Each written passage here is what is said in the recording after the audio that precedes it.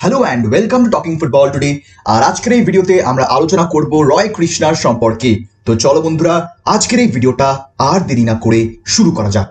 Today's video sponsored by one by OneFootball. Is definitely the best football app out there in the market and it's just absolutely free. Catch all the latest updates of Indian football as well as world football in just one tap. From live scores to live player updates, fixtures and latest transfer news, OneFootball has everything that you could possibly need and more. It has over 200 different leagues in 12 different languages and it's the only football app that I've installed in my phone. So if you want to try it out yourselves, make sure you use the link provided in the description below and download it for free. Or if you're watching this video on desktop, then you can use the QR code on the top corner of the screen by scanning it from your phone camera, which will directly take you to the download page where you can download OneFootball and enjoy football at its best. So thank you OneFootball for sponsoring this video. তোমরা যারা সবসময় international ফুটবলের খবর রাখতে ভালোবাসো তোমার প্রিয় বিদেশি ক্লাবের সমস্ত খবর এক জায়গাতেই পেতে চাও OneFootball is the perfect app for you ISL এর সমস্ত আপডেটস তোমরা ওয়ান ফুটবলে পেয়ে যাবে লাইভ স্কোর্স থেকে শুরু করে ফিক্সচার স্ট্যান্ডিংস সবটাই কিন্তু ওয়ান ফুটবল খুব সুন্দরভাবে নিয়ে আসে তোমাদের মতন সমর্থকদের জন্য।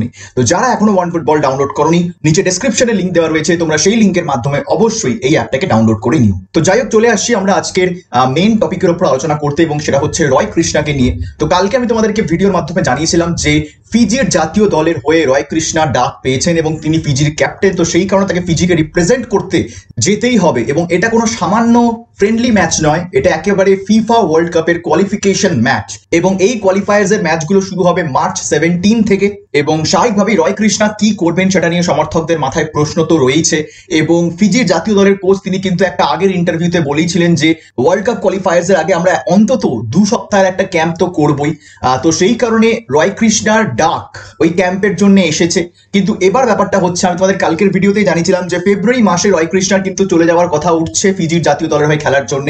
কিন্তু এই মুহূর্তে দাঁড়িয়ে এটিকে মোহনবাগান ম্যানেজমেন্ট তারা কিন্তু চেষ্টা করছে রয় কৃষ্ণাকে ধরে রাখার। তারা কিন্তু চাইছে রয় কৃষ্ণাকে একেবারে রিলিজ দিতে মার্চ মাসে আফটার আইএসএল এবং এটিকে মোহনবাগানের লাস্ট ম্যাচ মোস্ট প্রবলি বোধ হয় সেভেন্থ মার্চ আছে এবং তারপরেও যদি আমরা ধরে নিই যে আরও সাত দিন লাগতে পারে আইএসএল কনক্লুড করতে, তাহলে মার্চের চৌদ্দ তারিখের মধ্যে আইএসএল শেষ হয়ে যাওয়ার কিন্তু একটা ভালো চান্স আছে। এবার মার্চের তেরো চোদ্দ তারিখ যদি আইএসএল শেষ হয়, তাহলে রয় কৃষ্ণা হাতে হয়তো দু তিন দিন সময় পাবেন ফিজির দলের সাথে ট্রেনিং করার ক্যাম্পে যোগ দেওয়ার এবং তার যেতেও সময় লাগবে। সেখানে গিয়ে আগে কোনো কোয়ারেন্টাইন রুল রয়েছে কিনা সেটাও একবার দেখতে হবে। যদি কোয়ারেন্টাইন রুল থাকে, তাহলে কিন্তু কৃষ্ণাকে আগেই চলে যেতে হবে।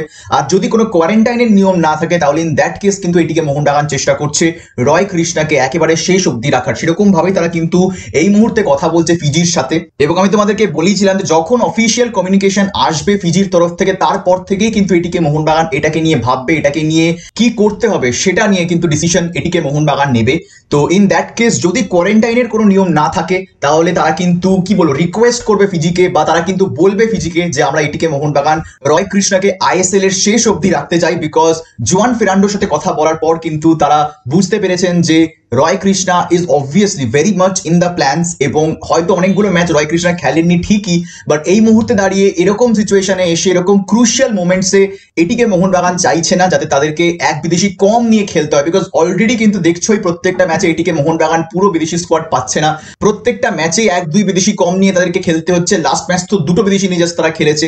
তো সেই কারণে কিন্তু অলরেডি ছটা বিদেশির মধ্যেই যদি প্লেয়াররা অ্যাভেলেবেল না থাকেন, তাহলে এক বিদেশি যদি কমে যায়, তাহলে রিস্ক কিন্তু আরও বেড়ে যায় ফরেনার্সদের আরও আনঅ্যাভেলেবেল হয়ে যাওয়া। সেই কারণে কিন্তু এটিকে মোহনবাগান চাইছে যে পুরো স্কোয়াড স্ট্রেংথ নিয়ে তারা আইএসএল শেষ করবে এবং কিছুতেই রয় কৃষ্ণার মতন একজন প্লেয়ারকে এরকম গেম চেঞ্জার প্লেয়ারকে কিন্তু কিছুতেই তারা এই মুহূর্তে ছাড়তে চায় না। তো এখন এই মুহূর্তে ফিজির সাথে সেরকম ভাবেই কথা চলছে এবং যদি সব ঠিকঠাক থাকে তাহলে কিন্তু এটিকে মোহনবাগানের হয়ে এই সিজনটা পুরো খেলে তবেই কিন্তু রয় কৃষ্ণা ফিজির জন্য রওনা দিতে পারেন। আবারও যেটা বললাম যে যদি কোনো কোয়ারেন্টাইনের নিয়ম না থাকে, যদি একেবারে ডাইরেক্ট রয় কৃষ্ণা ক্যাম্পে জয়েন করেই ট্রেনিং করতে নেমে যেতে পারেন, তাহলে ইন দ্যাট কেস কিন্তু ফিজি এটাকে কনসিডার করতে পারে তো অবভিয়াসলি দেখা যাক যে কীরকম আপডেটস বেরিয়ে আসে এই আপকামিং কয়েকটা দিনে রয় কৃষ্ণাকে নিয়ে। যখন যেরকম খবর আসবে তোমাদেরকে অবশ্যই সেটা কিন্তু জানিয়ে দেবো। আপাতত যদি ভিডিওটা ভালো লেগে থাকে, তাহলে লাইক এবং শেয়ার করতে কিন্তু একদম ভুলবে না। যারা প্রথমবার এসেছ এই চ্যানেলে এবং এখন এই চ্যানেলটাকে সাবস্ক্রাইব করনি, কিসের ওয়েট করছ? অবশ্যই সাবস্ক্রাইব করে নিও। এরকম ডেলি ইন্ডিয়ান ফুটবল আপডেট পাওয়ার জন্য। দেখা হবে তোমাদের সাথে পরের ভিডিওতে আর এই ভিডিওটা দেখার জন্য তোমাদের সবাইকে জানাব ধন্যবাদ।